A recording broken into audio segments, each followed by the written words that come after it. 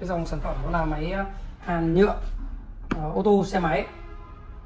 Uh, với model là 150.1035 uh, của hãng Kaetun thương hiệu này của Đức. Đó. thì uh, sau đây tôi xin uh, review cái uh, sơ qua về cái máy này. Mục đích của cái máy hàn nhựa này nó là gì? Đó là để đính các cái kim để hàn sửa chữa cái bề mặt vỏ nhựa bị hỏng một cách nhanh chóng và dễ dàng. Phương pháp nó sẽ đính kim vào uh, giữa hai cái vết nứt của bề mặt nhựa.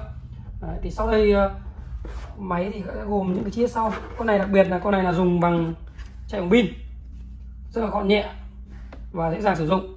Đó. máy bao gồm ờ, một là thân máy chính. Có thể uh, gật gù được để các bạn có thể thuận uh, tiện thao tác trong những vị trí khác nhau tùy theo cái vị trí của mình mà để thẳng hoặc là để cong. À, dùng uh, chạy bằng pin.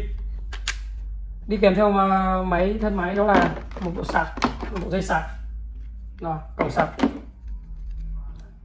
Và uh, bao nhựa vật tư tiêu hao.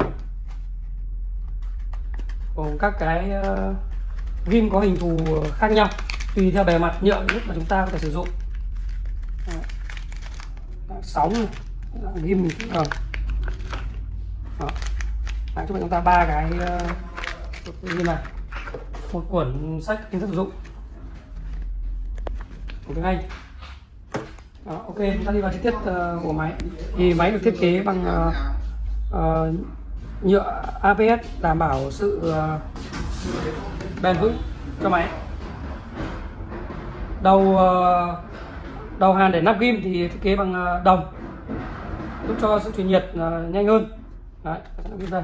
Các bạn nhìn thấy hai đầu để chúng ta có thể gắn ghim vào cho này. Sau đó chúng ta có thể khi nóng thì chúng ta dí vào mặt nhựa đó. Đây,